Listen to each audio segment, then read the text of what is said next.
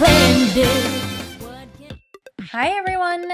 Today I'm showing you that it's possible and easy to make the Hostess cupcakes. These cupcakes were made from a recipe from Chef Chloe Coscarelli, and the recipe is in her cookbook, Chloe's Kitchen. I'll include a link for that below in case you're interested in making these.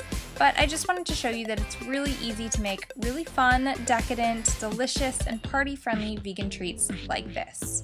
Making delicious vegan baked goods and sharing them with friends, family, coworkers, or neighbors is a great way to show that being vegan is no sacrifice at all.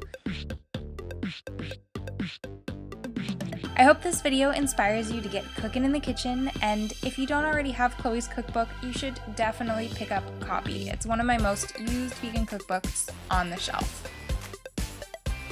This has been Michelle Kane for vegan.com, and I'll see you in the next video. Until then, don't forget to subscribe, give this video a thumbs up if you liked it, and share it with your friends. Bye!